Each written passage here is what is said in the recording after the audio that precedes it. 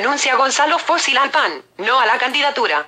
Señaló que si le piden deje su postulación, lo hará pues no es un buscachambas y lamentó imposiciones. Villahermosa, Tabasco, 4 de junio del 2012.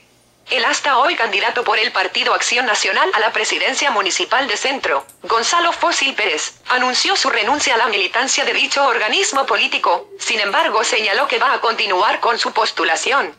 En conferencia de prensa la mañana de este lunes, dijo no temer que la dirigencia del PAN intente quitarle la candidatura. Si quieren se las dejo, remarcó yo no soy un buscachambas, estoy aquí por congruencia. Al entregar una copia de su renuncia, Fósil Pérez dijo lamentar las imposiciones que se dan desde la dirigencia nacional del PAN. Para mis amigos y compañeros que respetan y viven los principios de doctrina del hasta hoy mi partido, mi reconocimiento, afecto y colaboración en la lucha por un México más democrático.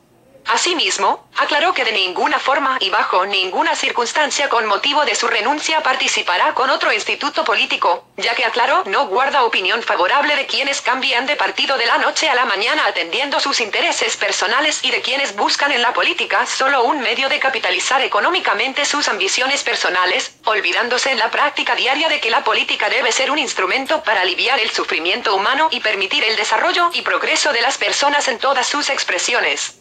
Por otra parte, reiteró su afinidad con Josefina Vázquez Mota, con Gerardo Priego Tapia y los demás aspirantes del PAN en Tabasco quienes, dijo, buscan hacer un gobierno del pueblo por el pueblo y para el pueblo, así como servir de instrumento para que éste se libere de quien representa lo peor de la corrupción que se haya visto, no solo en Tabasco, sino en todo el país.